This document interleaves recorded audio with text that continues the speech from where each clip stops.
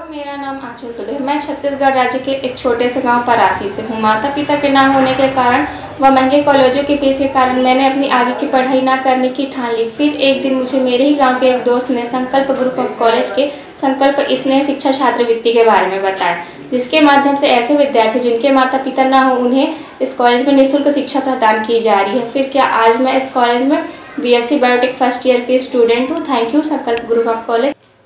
आज नर्मदा के उद्गम स्थल और मध्य प्रदेश की पवित्र नगरी अमरकंटक के क्षेत्र में अनूपपुर ज़िले में संकल्प ग्रुप ऑफ़ कॉलेज आज संचालित किया जा रहा है। आज के समय में विद्यार्थियों को अच्छी शिक्षा के साथ रोज़गार उपलब्ध कराना बहुत महत्वपूर्ण हो गया है और ये महत्वपूर्णता सभी कॉलेज की ज़िम्मेदारी हो चुकी है।